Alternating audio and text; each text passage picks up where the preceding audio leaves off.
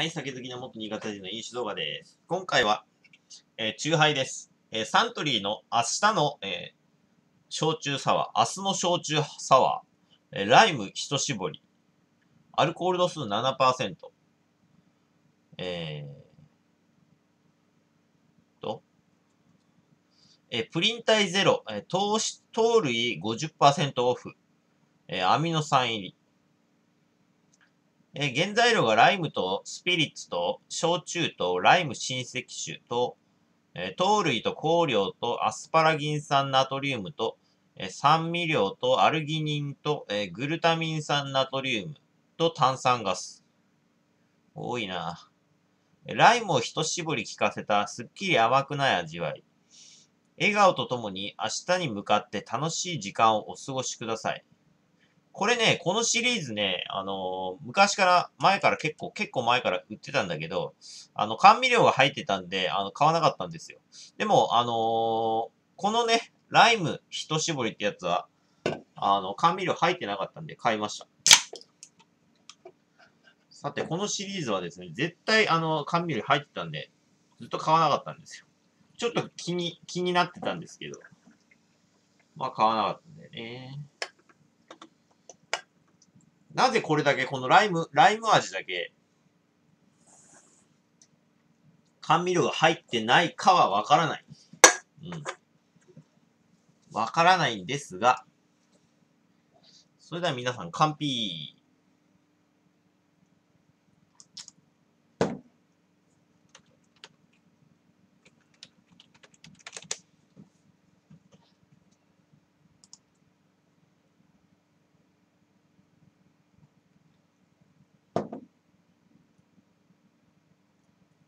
うん。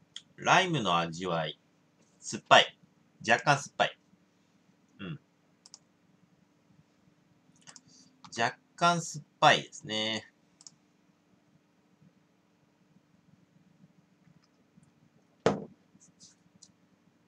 まあ、割かしそんなに飲みにくいってこともない。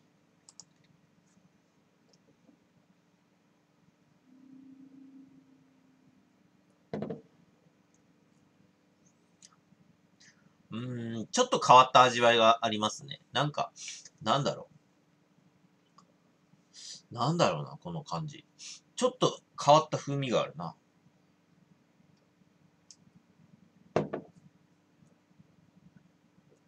えー、明日のサワーシリーズ。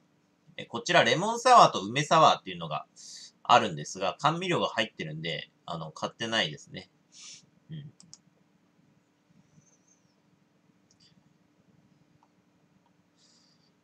えー、っと、明日の焼酎サワー、こちらですね。えー、麦焼酎を使用し、アクセントにライム果汁を加えることで甘くなくすっきりとした味わいに仕上げました。あー、麦焼酎使ってんのか。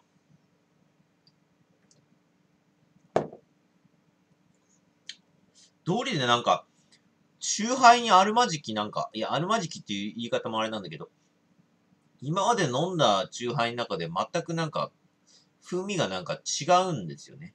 なんか香りっていうか、味っていうか。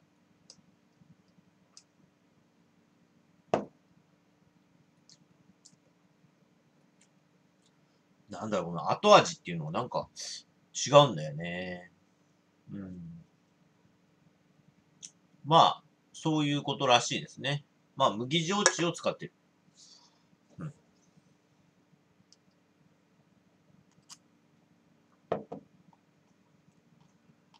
まあ、ただそんなに別にうまいかって言われると、いやーって感じはするんだよな。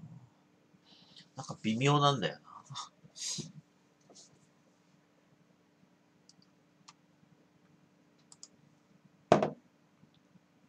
なんだろう、この微妙な、微妙なこのなんか、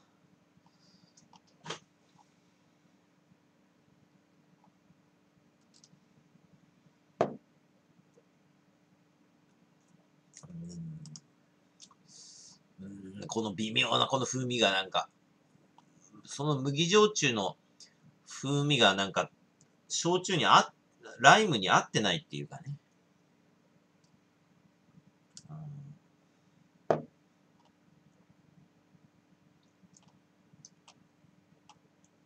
焼酎を使ったのはいいんだけど、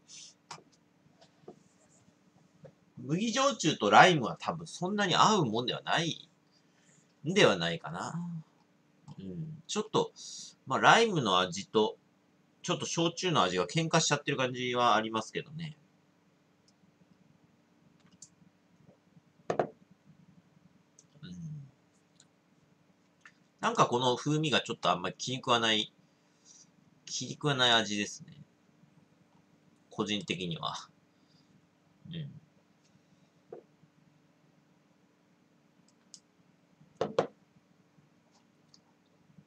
これはちょっとあれだな。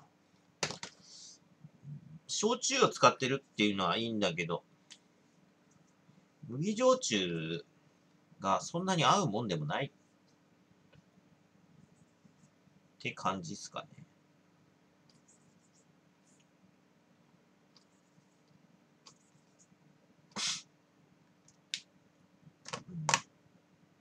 香りはちょっと強いか。